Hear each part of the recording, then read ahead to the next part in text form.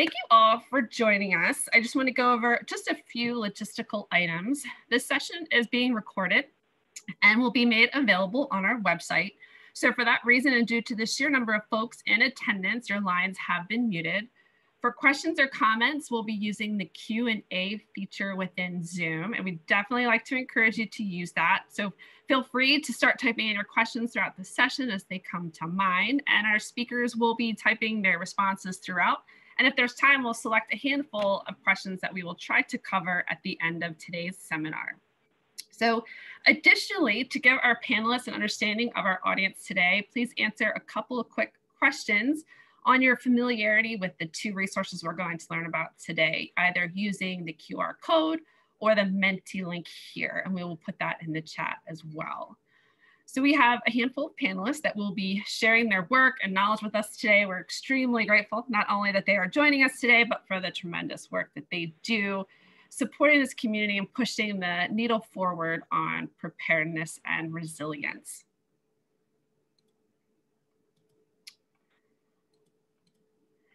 So uh, to introduce myself, I'm Terry Martin with the National Alliance for Public Safety GIS Foundation. Thank you all for joining us for this prep tech talk on decrypting risk, resilience, and social vulnerability data. So Prep Tech Talks are virtual seminar series where we come together to share the latest resources and innovations and address key challenges in adoption, implementation, and the use of the most effective and advanced technologies all with a goal of strengthening our collective community, unifying efforts, and building capacity of public safety leaders, first responders, technologists, and GIS practitioners. So I have with me today Charlotte Abel from the NAPSG team, who will be assisting with the chat and the Q&A, and Trisha Larson, who will be providing a demonstration following our panelist portion. Our speakers will be addressing your questions via that Q&A, and if time allows, uh, as I mentioned, we'll get to those at the very end. So we also have a fantastic lineup of speakers that I will introduce to you in just a moment. And I'm very excited that you've joined us for our latest Prep Tech Talk. This is part one of a two-part series where we will share data and resources available that your community can leverage today to better understand uh, your community's relative risk, resilience, and vulnerability to hazards. So with that, our objective uh, seems pretty straightforward. Our goal is to continue to decrypt the various indices and indicators available, how you can access them, and select the right one for your project or analysis. So we are very excited to have this tremendous panel of speakers today that are going to help us reach that objective. So with us today, we have Dr. Shane Hubbard from the University of Wisconsin-Madison, Danielle Sharp, contractor coordinator for the CDC Social Vulnerability Index, and Benjamin Rance with FEMA's National Integration Center. I will do more thorough introductions as we get to the presentation portion, but I wanted to thank them first for being with us today. So here's our agenda. As you can see, it's pretty tight for the hour. And to ensure that our panelists have plenty of time and opportunity for questions, I'm going to get us started with a very brief background on NAPSG Foundation. So for those of you who are new to our organization, I'd just like to talk briefly about who we are. The National Alliance for Public Safety GIS Foundation is a 501c3 nonprofit organization. We have a national network of over 20,000 members, both public safety, and GIS practitioners alike, representing local, state, tribal, and county levels. Our organization is governed by an independent board of directors that are primarily public safety practitioners with 30 plus years of experience in the field. We were formed about 15 years ago as an alliance between a number of prominent national associations, some of which you see here, and have evolved into a formal organization over the course of that time. Our vision as an organization is listed here, but at its core is to help build a nation of emergency responders, leaders equipped with the knowledge and skills in applying technology and data to change the outcome of survivors and really working towards building a more resilient nation. So uh, our reach is primarily national with that 20,000 members um, network that I mentioned. And you can see from the map here who is on our webinar today, at least those we were able to geocode based on zip code. Um, this is a pretty good cross section of the country and a good mix of disciplines and levels of government, as well as the private sector.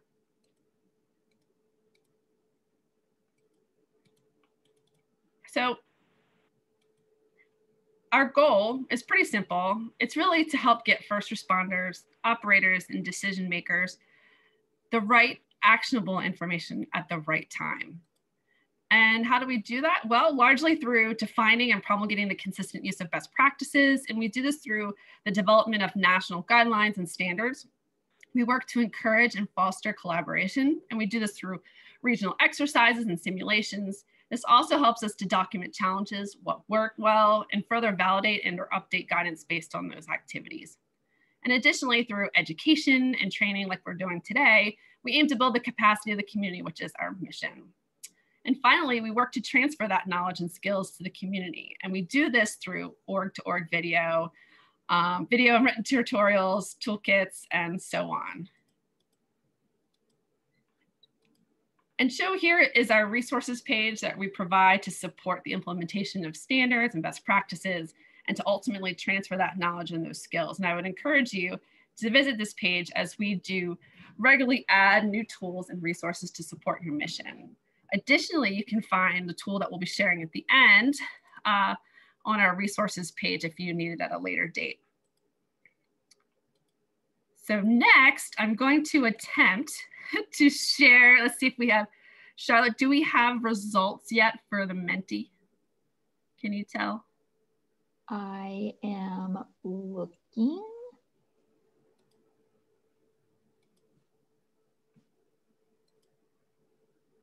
And I am pulling it up right now. Apologies. We do. Okay. The code is in the chat for anyone who would still like to participate.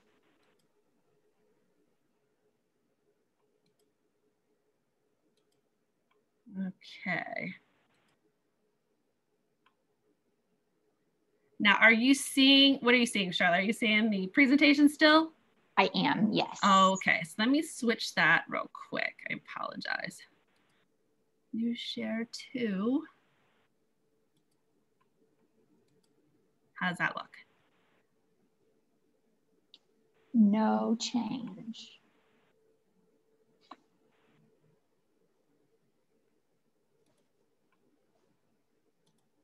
Oh, how about that? Yes. Okay, so helpful. So this is great. So we were hoping that we would have just this, like a good mix of folks who were had not heard of this these tools, and so now you're going to become more familiar with them, which is great. And then also get an understanding of if you are familiar, how familiar, and where you've used it. So I think this will be really helpful for our speakers today. We'll make sure we share these results with them as well. I'm not sure if it's loading and maybe not. So maybe we'll have a whole bunch of new folks that become familiar with these tools. So that's pretty exciting. And we'll continue to monitor that and see if we have anything to share in a moment. Let's try this again.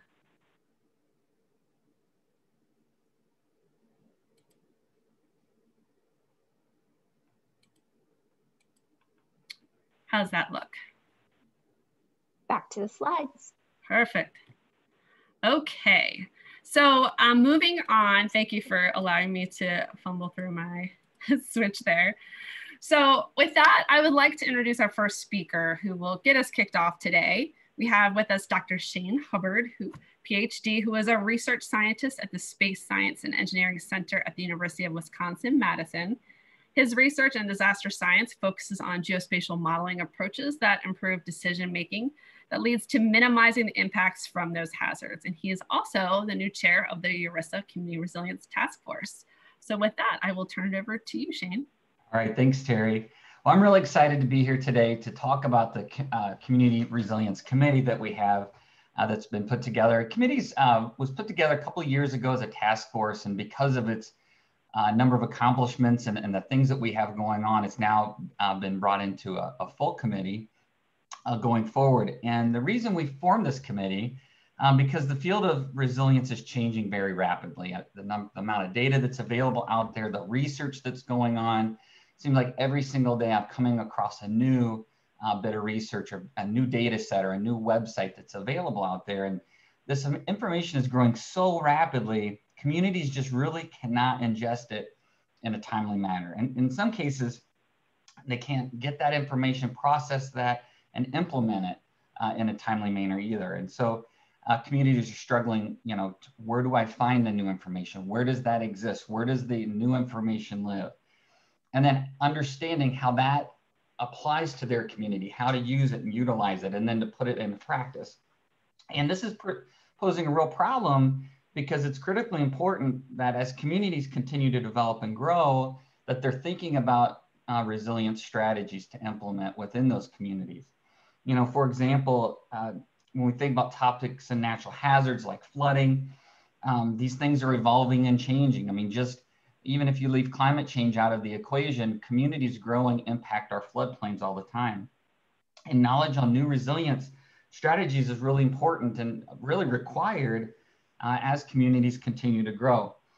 And so, you know, not understanding maybe how these floodplains might change in the future um, could really impact um, new developments, uh, new, new infrastructure um, that could potentially be put in places that could be flood, flood prone into the future. And so that is that was the goal um, for our committee to provide information, um, to, to provide materials, best practices, recommendations to communities as it relates to resilience, to really provide them a place um, in many in many cases to come and learn more about um, resilience and, and how other communities are handling resilience, new research that's out there, data sets are out there. And we're doing that through workshops, we're doing webinars, white papers. Um, we have some information on the web as well. I'm trying to find as many ways that we can connect with communities to relay this information that we can. And we really wanted to establish URISA as the leader uh, and also in the discussion of, of, a producer of knowledge of geospatial data technologies and the policies that community communities um, for community resilience.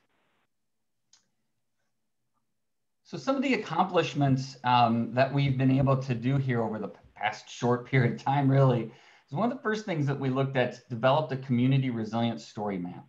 And that story map goes through information on community resilience, um, tells, tells how communities are approaching resilience. Um, and then the next things that we uh, began to develop are a couple of, one was a, a white paper um, one was a publication. Uh, Dr. Uh, published the Redefining Resilience in the Face of a Global Health Crisis for the GIS Professional. And then um, we also published a document titled Responsibly Supporting the COVID-19 Pandemic Response um, as well. And so those two um, are available out there. You can Google for those and, and take a look at them. Um, and then we've um, also been participating with some of the work that's going to be discussed here, um, helping to look at the risk indices that are available. Uh, one of the challenges has been uh, new risk, risk indices are being developed all of the time. And a lot of these risk indices have different themes, different contexts. They support different, um, uh, different elements of planning. And so we wanted to be involved in that to see how we could help with that learning process and that research that was going to be uh, put together. And we were participating and trying to help as much as we can with that. And then more recently, uh, we've been participating on URISA's pandemic task force. Um, the pandemic task force is looking at what's interesting about the pandemic uh, in the early stages is there was very little thing, very little going on nationally that was geospatial other than the John, Johns Hopkins website. And um, it was interesting to watch how that began to grow over time as the pandemic became uh, more and more important to track, something that feels very geospatial like a pandemic. Um, there was very little GIS information or geospatial information in, in the early uh, days of that. And so the, the pandemic task force is coming up with strategies for what kind of data sets are, um, are required or available, where to get that, what's, what's the best practices for the data sets as well, and how GIS really can and should be used to support um, this pandemic event, and of course, future pandemic events as well. And then also supported a public health track for the GIS Pro uh, conference that was held a little bit over a month ago, which was a huge success, one of the um, high, more highly attended, um, some of the more highly attended presentations um, uh, that, that we saw at URISA. So, and then for future directions, some of the things that we're looking at going forward, we're, um, doing a couple of new uh, two new working groups, the Climate Change and Community Equity Working Group. Um, I think is going to be really important, really just got off, um, uh, jump started here over the last couple of months. GIS, uh, the GIS Pro was a, a really nice springboard for that. Um, we've had a lot of interest in that uh, working group. And then the Community Resilience and Sectoral Dependencies Group, that has been moving forward as well. Um, and we're really looking forward to growing both of those working groups. Um, we're also looking at uh, further collaborations nationwide. So we're always trying to engage new people and bring them into the fold and, and see what is it that they're working on community resilience wise and how can we then take that information from those groups and then support not only our URISA members, but the communities that uh, supports as well. We're working on quarterly webinars on current topics as well. We should be having a couple of those coming up uh, over the next few months here. Um, and then continue to produce additional articles that will be highlighting uh, community resilience best practices. And we have a couple of those that are uh, also in the works as well that we'll be uh, uh, bringing out and, and, bringing forward. So thank you so much. I think this, um, this presentation is, is a great presentation. I think um, what the work that's been uh, done here that's going to be talked about next is extremely important for communities.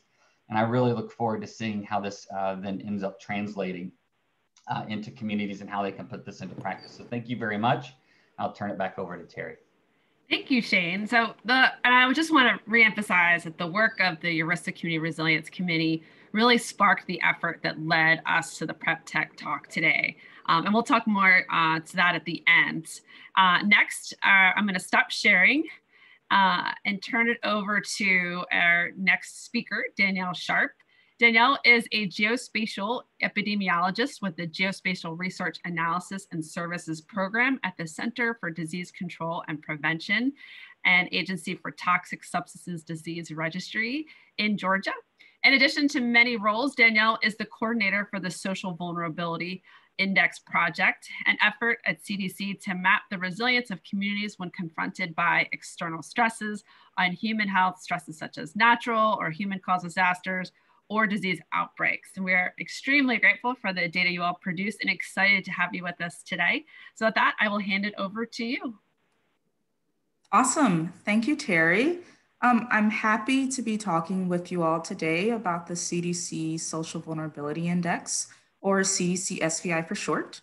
Um, but before I get started, I would like to thank the NAPSG organi organizers for inviting me to this year's Prep Tech Talks. It's um, really an honor um, to be here. Um, so today I will give a, a very brief overview and demonstration of the CDC SVI tool. I will also open up discussion at the end for um, any questions that you all may have um, once the last um, speaker has presented. So let's begin with an overview of CDC SVI. What came to be known as CDC SVI was created in accordance with the Pandemic and All Hazards Preparedness Act of 2006, which cited that public health and medical preparedness and response capabilities were critical needs for the nation. When this act was signed into law by then President Bush, it was a mandate to which all federal agencies were tasked to satisfy. CDC decided to build agency capacity by addressing social vulnerability to disasters and public health emergencies. And from this, a group of social scientists and statisticians in my team at CDC began, began developing CDC SVI in 2006 and officially disseminated the first tool in 2011. So every single community in the United States exhibits varying degrees of physical vulnerability to potential disasters. And by this, um, we mean tangible aspects such as the geographic proximity of an area to the source of a hazard, for instance, if a community lies near the coastline. But when we discuss social vulnerability, this is not exactly what we mean. Social vulnerability refers to the demographic and socioeconomic factors that contribute to certain groups of people and communities being more adversely affected when they encounter hazards. For instance, there are social factors that lead to certain groups being less prepared for a disaster event, less likely to respond to and recover from such an event, and more likely to suffer total loss of property or be injured or die. Um, the social factors that influence this is what we measure using CDC SVI. Essentially, the purpose of this tool is to assist disaster management and public health officials with identifying the most socially vulnerable populations in their jurisdictions um, over the entire course of the disaster cycle, meaning before, during, and after a hazardous event. CDC SVI is composed of Census Bureau data on 15 different variables that are grouped into four themes, as well as a measure of overall social vulnerability. And these variables include um, uh, data on populations living in poverty, those living with disabilities, with limited English proficiency, even populations living in crowded housing, just to name a few of those variables.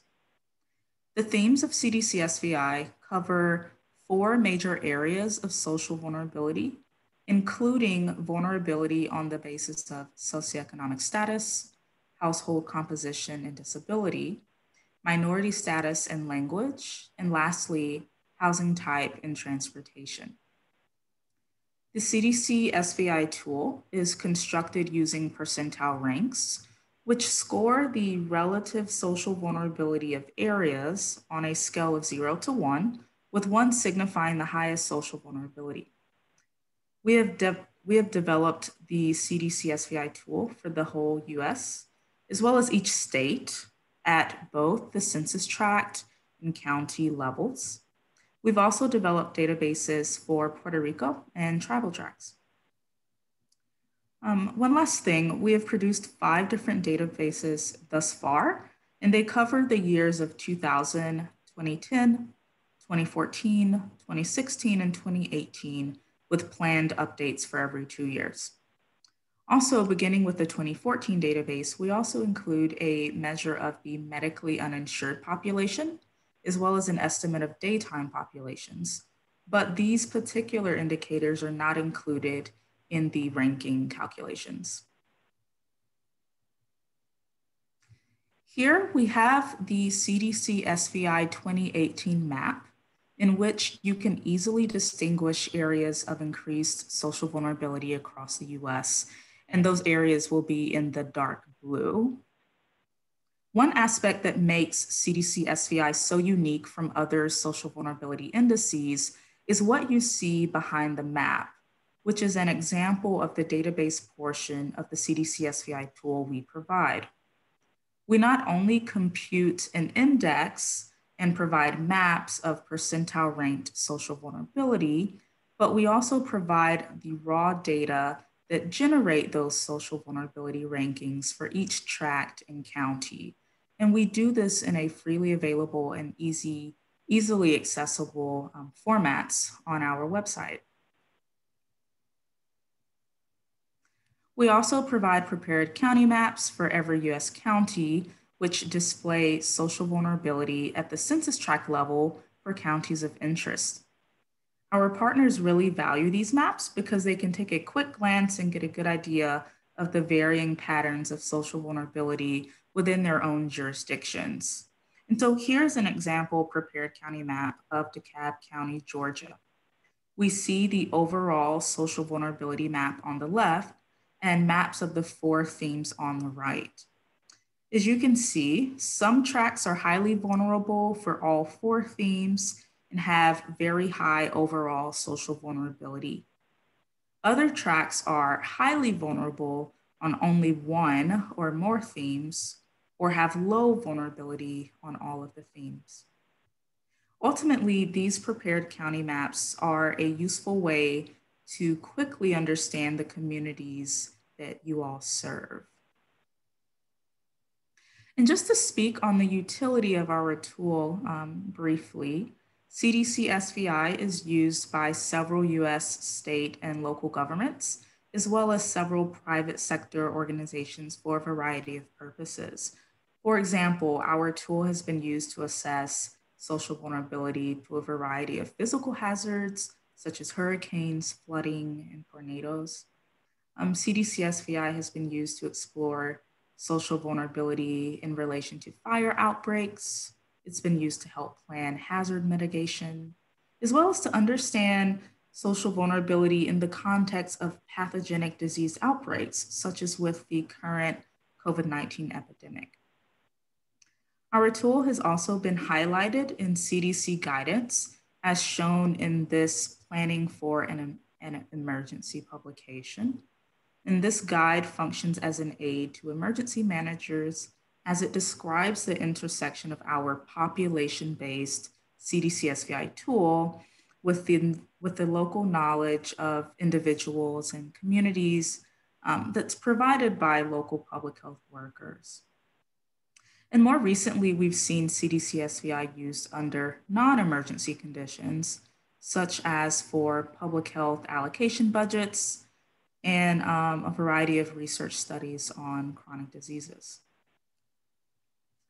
Now, I will quickly demo the CDC SVI website and how you can access this tool. And so when we come here um, to this link that I believe will be shared with everyone on this call, you um, will see the website for the CDC um, SVI tool. Um, we provide quite a, a, lot of information. For example, here to the left, we provide a, a fact sheet, um, some information on our tool at a glance. We have our data and documentation download, um, tab, an interactive map tab, the publications and materials, and frequently asked questions. Um, one of the, the tabs that you may be most interested in will be this data and documentation download tab, which is where you can find all of the, the databases that we've created. Um, and so here, if we, if we want to um, look at data, we can decide which year of the databases we would be interested in. Um, we can pick a, a, geography that we're interested in. And so this will give you all US states. Um, so I'll click United States here. And then you can come here and pick your geography type. You can choose census tracts if you're more so interested um, in communities or counties if you're more so interested um, in some sort of um, planning activity.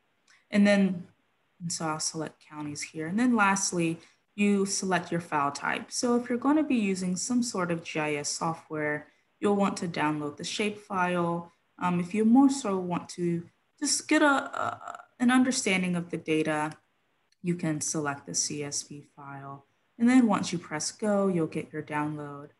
Um, before I go to, to show you what the download looks like, I also want to show you all that we provide documentation for all of our databases.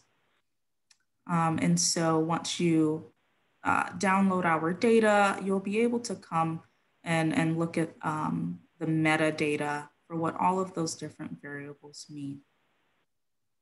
And so just to give you an idea, this is an example of a CSV file for the United States CDC SVI database for um, the year 2018. Here at the top, we have um, our variable names, and then you have the data that fall below. Um, although within our database, it's not highlighted, I wanted to highlight this to, to give you a, a good idea of what we're uh, looking at. And so we have these E underscore variables. These are going to be our estimates. These are those raw counts that I mentioned that can help you with um, planning how to allocate various resources. And then if we continue to scroll, we'll come to um, these data that are highlighted in blue here. And these are our EP variables. These are going to be um, percentages um, that you may be um, also interested in. But ultimately, for those who are interested in mapping, we have these EPL and RPL variables.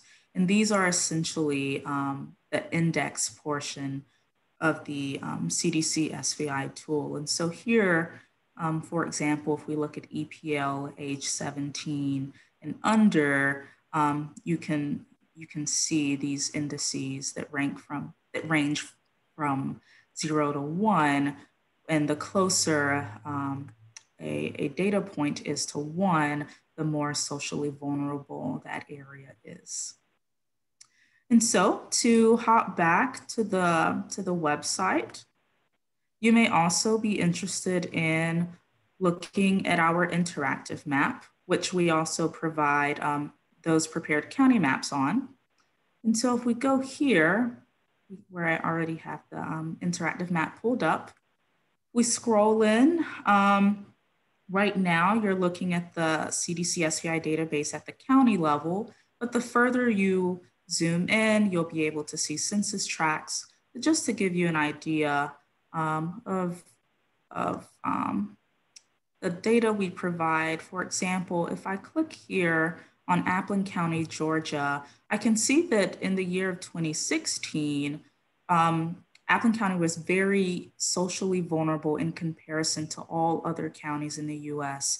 We can see here that um, this county has an SVI score of 0.9433, and we can inter interpret that as Appling County being more socially vulnerable um, than 94% of um, all other counties in the US.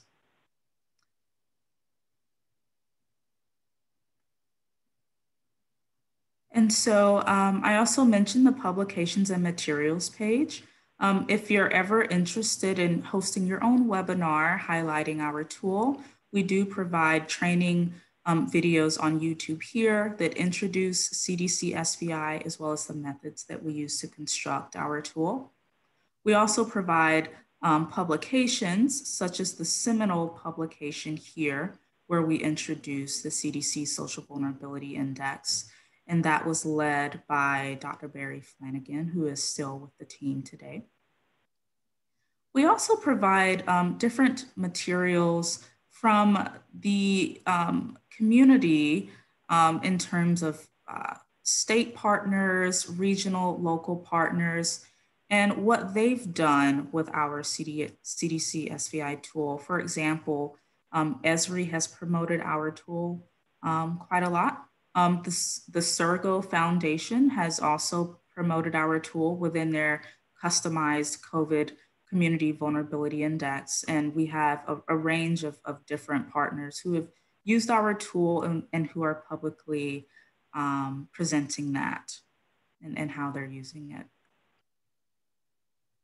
So I will end there with the presentation. And as a wrap up, um, to, just to reiterate, um, our CDC SVI tool measures 15 different social factors that truly capture um, the concept of social vulnerability.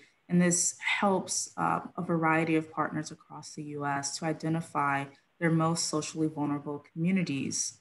Um, this tool measures social vulnerability on a scale of zero to one, with one being most vulnerable. And we do this for census tracts and counties across the US. And lastly, um, CDC SVI is useful for assisting communities in need in the context of disaster preparedness, response, recovery, and mitigation. So across the entire disaster cycle. So I'll stop there and um, I'm happy to take questions um, once all the presenters um, have gone. Thank you. Wonderful. Thank you so much, Danielle. Uh, we generally appreciate your, the work you do. This has been incredibly insightful to hear you explain the attributes and geographies included and how to navigate the resources that CDC provides, and uh, in particular, the examples from the community and the type of work it has been used for. So thank you so very much. Uh, and I'm going to introduce our next speaker that we are also very thrilled to have, uh, Benjamin Rance, who is a management and program analyst in the technical assistance branch of the National Integration Center. He is the project lead for the Community Resilience and Recovery Technical Assistance Project and the agency lead for the Resilience Analysis and Planning Tool, or RAPT. He started working at FEMA in August of 2019. And prior to that, he had over six years of experience working for the Peace Corps both overseas and in Washington, D.C. Benjamin holds a master's degree in Natural Resource Management and Geography from, from the University of Alaska Fairbanks, and he received his undergraduate degree in Environmental Studies from Western Michigan University. Thank you so much for being with us today, Benjamin. I will turn it over to you.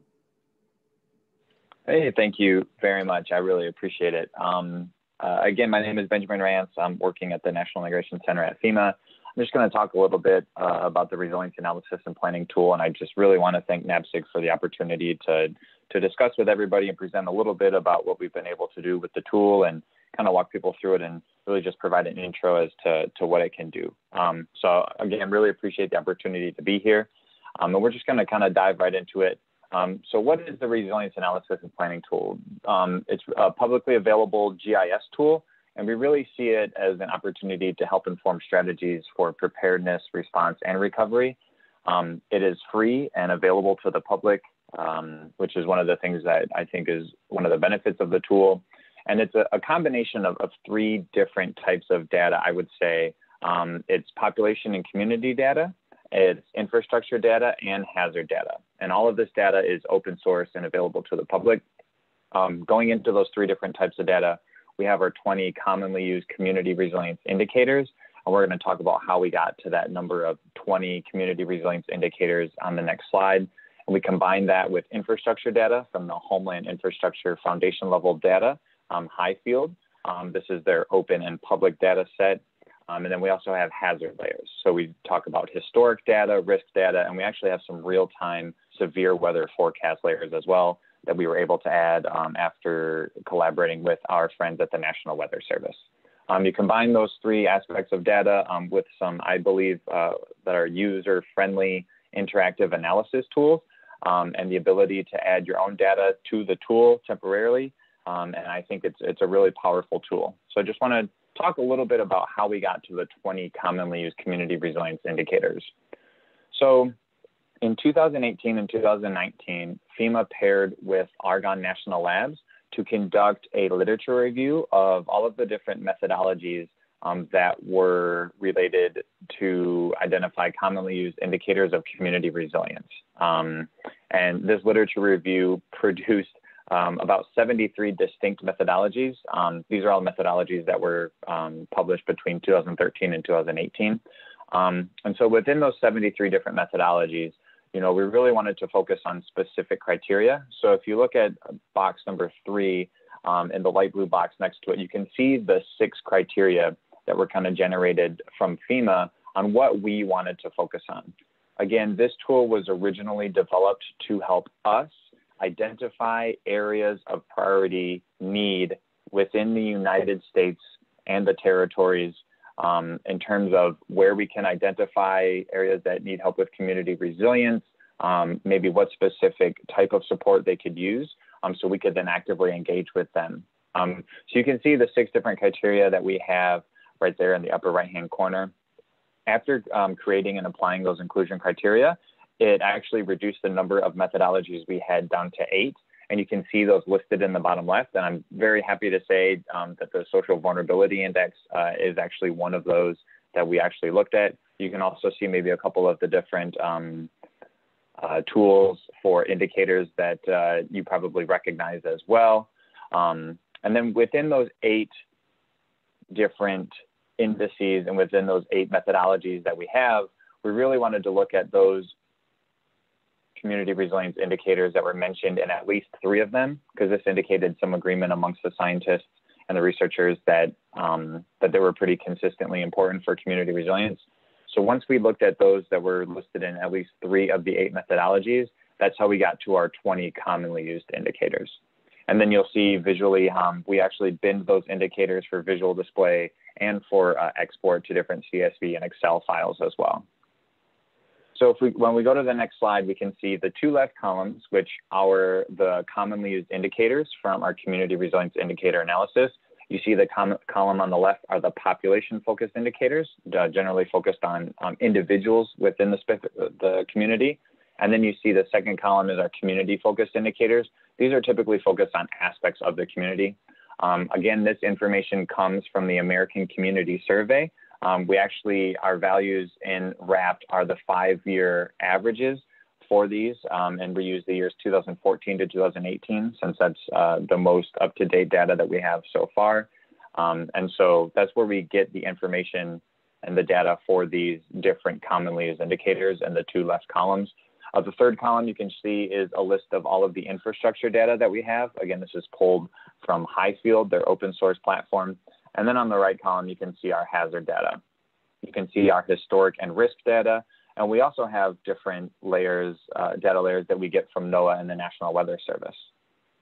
So combining all three of those sets of information give us the resilience analysis and planning tool. So I'm actually going to go through and share my screen and go to the resilience analysis and planning tool website really quickly and kind of show you a little bit about what it looks like. So you can see the resilience analysis and planning tool. The first thing I wanted to mention is we do have a website um, that will actually uh, get you a link to the tool and a whole bunch of other supporting documents. It is very easy to get to. If you type in fema.gov slash RAPT, it will actually get you to this website.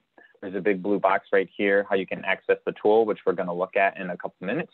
Um, and then as you scroll down, you can actually see a bunch of different training resources. We have an hour long PowerPoint that we've recorded, which goes through step by step all of the different aspects of the tool uh, for an overview webinar. Um, we also have how to tutorial videos that we've actually um, recorded anywhere between seven and 13 or 14 minutes long that break down each aspect of the tool so you can kind of watch those in bite-sized chunks to learn a little bit more about the different aspects of it. And we actually have supporting documents on the bottom as well. Uh, one of the things I wanted to point out right here is that we actually have the full community resilience indicator analysis uh, report. So if you are interested in the methodology um, and the steps that we took to get to those 20 community resilience indicators, please feel free to read this whole report. It has a lot of great information in it. So I'm going to go to the tool now that we have a couple minutes left. So you can see um, it looks uh, very similar to what the SVI tool um, looks like. I want to point out a couple things. Um, on the left, you'll see kind of a collapsible sidebar. Um, this again has links to all of our documents and supporting documents. It has a list of FAQs. These are about the functionality of the tool and about where we got our information. Um, so I encourage everybody to read through the FAQs. And if you scroll all the way to the bottom, there's an email address uh, for our TA request email inbox that I monitor daily. Um, so if you do have any questions or we'd love to get feedback um, on the tool, please feel free to contact us at that email box down there. To get into the tool just a little bit. Um, and so we're going to focus on a specific area. Um, you'll see a couple different things. Um, in the upper right, we have a number of tabs. Uh, the first couple tabs kind of provide an overview and methodology and some background information on the tool that you can see. We have each of the 20 indicators listed here along with their connection to resilience. So not only does it say what the data set is, where it comes from, the American Community Survey five-year estimates for these five years, it talks about the national average, and it also lists some of the connections that this specific indicator has to resilience. So I encourage anybody who is just taking a look at the tool for the first time um, to take a look at those indicators. So what I want to do is I want to zoom into a specific area just so we can kind of take a look um, at what this tool visually looks like and some of the tools within the RAPT. So I'm just going to zoom into the Tampa Bay area just because it kind of gives us a, a, really good view of some of our hazard layers um, specifically in this area and also some really good demographic information in terms of the community resilience indicators that we're looking at. So if we're zooming in right here, um, we should be able to see uh, this little peninsula right here and we can kind of see Tampa Bay. So I'm going to go through and I want to toggle on a couple things first. Um, the first thing is you'll notice in the upper right, we have all of our FEMA regions broken out. We have two per tab. Um, this is because the data in RAPT is available at the county level and at the census tract level. And there are about 74,000 census tracts in the United States. And so in order to only load um, a certain amount uh, at a time, we actually load them per FEMA region. So Florida is in FEMA region four. So if we click on the tab for regions three and four, you'll see a number of different toggle boxes that we can have toggled on and off. And then we also have all of the, the 13 indicators that we have available at the census tract data for region three. And if we keep scrolling down, you'll see the indicators we have available for region four. So if we click on, let's say we want to look at age 65 and older, if we click on that name, uh, it'll expand into the legend below, and you'll see it's a very similar color scheme to the SVI. And when we toggle that layer on, you'll actually see at the census tract level, each census tract color corresponds to the percentage of individuals who are age 65 and over. So let's say we wanted to zoom in on this uh, somewhat dark blue census tract here. When we click on each census tract, you'll actually have a pop-up box um, and it'll have two different tabs. One will have the information for the specific uh, indicator that we're looking at. So for instance, for this census tract, it has the population age 65 and older as 36.4%. So you can see it's relatively high in this census tract. And another tab that's also pops up when we click on it is it has the 13 census tract level indicators and all of their information right here. So for instance, for this census tract right here, you can see it's about 3,200 people live there. And we have every value for the, the, the data that's available at the census tract level for these indicators. So we can see the percentage age over 65 is 36.4, the percentage with a disability is 27.3, and you can kind of go on down the line and take a look. Um, and this is true for every census tract. So if we click on another census tract, then we have all of this information available for them as well. So we can do this for multiple different indicators as well. So let's say we looked at age, um, let's say we wanted to look at disability, we'll expand that and then we'll take a look at the map as well. You can kind of see visually this is represented differently. And again, if we click on any of the census tracts, we have the pop-up box that tells us what the specific value is for this indicator, as well as all the values for the 13 indicators that we have available at the census tract level. A couple things with this, we can also take a look at all of this information in tabular form. So for instance, for disability, if I click on these three uh, circles and I want to say view this in the attribute table, it will actually pull up for all of the census tracts that we can see on the screen that are in region four. It'll pull up the information for each of the census tracts with all of the indicator values. Um, so you can see for this census tract, if we scroll over, we can see population, percentage, age percentage over 65, disability, lack of high school diploma, and all of these. Um, you can also take this if you click on the options button and export to CSV. This will export to an Excel file. So you can actually use that um, in tabular form, not just uh, visually. I also want to take a look at some of the other layers that we have. So these are some of the indicators that we discussed. Um, I want to take a look at the infrastructure layers. So if you click on the infrastructure tab, you'll notice if you click on an infrastructure entity, it gives you the legend below. And when you toggle it on, you'll actually see that indicator pop up on the screen. You see all these red dots. And so each of these correspond to a hospital that's listed in the HIFLD data set. By clicking on one of those, you'll actually get information for the specific entity. It tells you the number of beds, where it's located. It tells you, um, sometimes it will tell you what the highest level of trauma it is, if it has a helipad or not. So you can see this as we click on different ones, you get more information available. Again, this information is pulled from HIFLD. So sometimes if we have an incomplete data set, um, we'd have to reach out to HIFLD to update it since we aren't, we don't own this data. We're just pulling it from HIFLD. And again, you can toggle a number of these on at once. So let's say we wanted to look at hospitals and public schools. You can see the orange dots are public schools. Clicking on these will actually tell us what school it is. It tells you how many students are enrolled, what grades they are, pre-K through fifth grade, how many teachers there are, the location. Um, so I think this is this is really beneficial. Um, and I'm going to show you a tool that we have as well. Um, after I show you just one quick hazard, if we, if we click on the hazards, you can see all of the hazards that we have listed here, as well as at the bottom, we have listed some of our real-time hazard data taken from the National Weather Service. Um, one of the ones that we like to look over here, it might take a little bit to load, but just the flood hazard zones. If we toggle the flood hazard zones on, um, eventually you'll see around here in all the different areas uh, will turn either you know blue or orange or yellow depending on whether there's a 1% annual chance of a flood or a 0.2%, so a one every 100 year flood or a one every 500 year flood. Um, this layer, because when we turn on hazard layers, it pulls for the entire United States, does take a little while to load, which is why we can't necessarily see it loading right now. Um, but just in the interest of time, I want to kind of continue just to show uh, one of the tools we have for this. Oh, here it pops up a little bit. You can see a little bit right here, the blue and the brown areas. So then what we can do is, you know, while we're taking a look at this flood hazard layer, we can go back to our infrastructure layers, toggle on our public schools, and you can actually see which public schools or any of these infrastructure entities really are located within some of these hazard zones.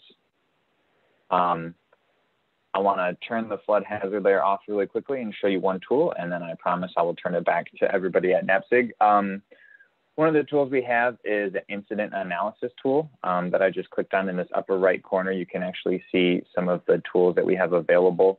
Um, what the incident analysis tool allows us to do is actually set a, a specific point and a buffer zone around it. Um, and then by selecting different infrastructure entities, it will tell us how many of those infrastructure entities are within the area. And I really think this is great um, for evacuation planning and exercises. So for instance, let's say there was an incident right here at the crossroads, right here. You can see all of our um, infrastructure entities listed at the bottom. And let's say we wanted to look at mobile home parks.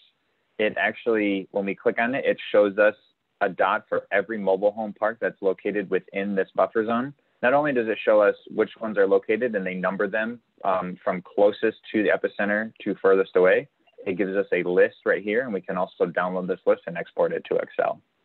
So lots of uh, powerful data. We can do the same for public schools. If you click on this, again, I think this is really important for emergency managers who are thinking about evacuation planning and purposes um, let's say you have an incident right here and you need to evacuate everybody within a five mile radius. This tells you how many infrastructure entities you have, and you can go through and click on different. Um, so it tells you public health departments, it will tell us how many hospitals, um, really anything that we want to look at. Um, so uh, I, I know I'm getting short on time, so I wanted to turn this over, but um, I'm just going to go back to our slides really quickly um, and just kind of take a look at some of the benefits of it. Um, I really think all these tools and these indices, um, you know, the RAPT, uh, it's user friendly. Um, you can use it for a community resilience profile. You can see how we can support emergency managers, whether it's through the THIRA SPR or different exercises, prioritize areas for evacuation like we discussed. And I really think that although there are a lot of similarities between the tool, I think each one is very unique and diverse. And I really think that they all exist um, to be complementary to each other. I think there is an appropriate use for all of them. And I think that together as a whole, they can all kind of be used to, to really help and emergency managers have a better understanding of their communities. So um, with that, I will turn it back over. Um, I went over a little bit, so I'm sorry, but I don't know if there's any questions and I'll, I will turn it back over to NAPSG. Thank you. Thank you, Benjamin. I, I really appreciate your presentation today. I first became aware of CRIA a couple years ago and have really been just impressed by uh, the evolution of the RAP tool in particular um, and all of the capabilities that you continue to add. And like the CDC, you've done an excellent job with all the resources you've made available to help folks understand the methodology and how to navigate, interact and with the, all the different functionality it provides. So thank you for that. Um, I just want to do a quick check. Trish, uh, Trisha or Charlotte, are you seeing my screen okay before I? Yes. Yeah. Thank you so much. So with that, um, I just want to give a very brief intro before Trisha does a, a live demonstration. I'm really excited to share with you uh, a collaborative initiative between the National Alliance for Public Safety GIS Foundation and URISA's Community Resilience Now Committee. So it was a little less than a year ago, we formed a focus group of academia, emergency managers and planners, public safety leaders, geospatial technologists, and R&D experts in this space. Members represented all parts of the country and levels of government and to include the private sector. And the group was formed after questions continued to arise on the from the projects that NAPSG and the members of the Community Resilience Task Force were involved in their respective agencies, as more indices and indicators of risk and vulnerability became known, um, we were all uh, trying to understand which might be better suited for different uh, projects and use cases. And we recognized if we were having these questions, other folks might too. So we formed this group. Uh, did a bunch of research uh, on the available indices. We ended up narrowing it down to about five for at least this initial round um, to, that were nationally and publicly available with the exception of the NRI, which as of this week, phase one has been uh, released. Um, so we did a bunch of research. We brought this focus group together to try to understand what the community might ask of these indices. I'm going to go to the next slide, um, what they might care about to help them decipher which to use. So this was, we started about over a year ago. And since then, um, they helped us identify the questions, create, uh, decide what those answers were. We've gotten some feedback from each of like the folks on the call today. And um, so we've developed this tool that we hope will help folks at least start to understand the different methodologies, the variables behind them, and when you might want to use one versus the other, depending on what variables you're most interested in for your community or the geography. So with that, I will stop sharing and I'll let Trisha go ahead and show the tool. I know we're down on time, so she'll show it quickly. I'll let you share. yes, thank you, thank you, Terry. Um, let's see here.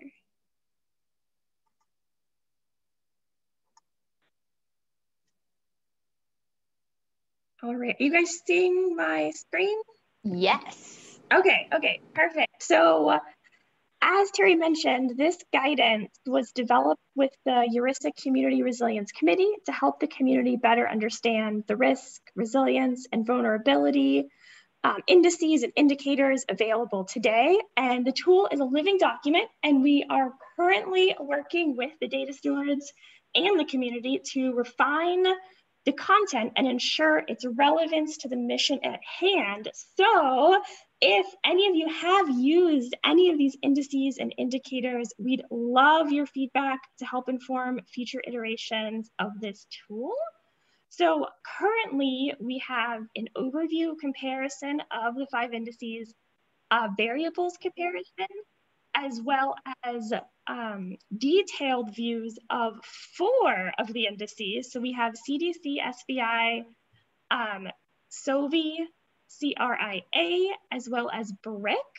And the National Risk Index was actually uh, phase one released last night. So we will be updating an index page for them very, very soon. So I'll jump into a little bit here, but our um, overview comparison chart provides a quick kind of bird's eye view of the various indices and indicators with some information like granularity, coverage, um, some descriptions and some outputs. And then if you want to take a deeper dive into the variables, um, we have them listed out in this chart here. And the variables that you'll see here in the same row, just a heads up, we are putting them in the same row to denote that they are similar. And this is simply for visualization purpose, purposes. So we are not indicating that the variables listed in the same rows here are identical. We're just trying to provide some visualization to help you understand how the index or indicator kind of arrived at its output. So once you kind of take a bit of a look at each of these different indices, you can jump into our index details pages. So on each of the index details pages, we're providing some of that overview information, as well as a deeper dive into how to access each of the data sets, um, some context behind why the data steward had developed the data and the index, um, their intended audience, their um, envision of how the indice or index would be used, uh, limitations, as well as a bit of an overview on variables. And then we're also providing some supplemental information and some contact pages for each of the different indices and indicators. So that is a very quick rundown of our guidance on risk, resilience, and vulnerability indices. And I will stop sharing and turn back over to Terry. Awesome. I am going to share and start to wrap us up here. Thank you all for holding on for the last couple minutes here. We will, if it's not already, we'll make sure we put the link to the tool in the chat so you can explore it further. I know Tricia just tried to give you a really quick rundown on what that looks like today. Um, so where do you go from here? So our call to action to you is to continue to become more familiar with what's available out there. So we have the link to the CDC website, the CRIA RAP tool, um, and then the tool itself that we have combined all of the different uh, variables for each of these together, try to do it all in one place. We'd love to hear your feedback on the tool, if you're using these and how and why. Uh, we're, I think that the data owners were also interested to hear that as well. So uh, that's where we would like you to go next. Um, from there, I'm gonna click to the next slide. Here we go. So what's next? As I mentioned, this is part one of part two. We are hoping for part two to take place in February, um, and we would use that time to share with you the NRI and SOVI and BRIC. Uh, so we will be putting that information out as soon as we finalize the date. We're very excited about that. And then Inspire, if you receive our newsletter, you may have heard that it is now a virtual uh, event. We're very excited that we still get to have it and we're developing all of the information on that and we will put that out as well in the coming weeks. So please keep an eye out for that. If you uh, are interested in more information on any of our events, you go to the event page and we publish all of our recordings and materials from any of these sessions. So um, feel free to check back there for the session materials from today and previous events. However, since you've registered, you will get notification that um, when these materials are ready to go. So I want to thank one last time to all of our speakers for their great work. Um, I know you're all incredibly busy, so appreciate your time um, today and sharing really, really good descriptions and insightful um, experiences into each of these tools. So thank you so very much for that. Thanks to all of our uh, attendees today for being with us today. We hope this was helpful. Please reach out if you have additional thoughts or questions. Our presenters did a really good job in answering the Q&A uh, throughout, which is good because we're running over on time, but we will publish that with our material. So you can look forward to reading their answers to all of the questions you had. Thank you again for your time. We hope to see you at a future PrepTech Talk. Take care.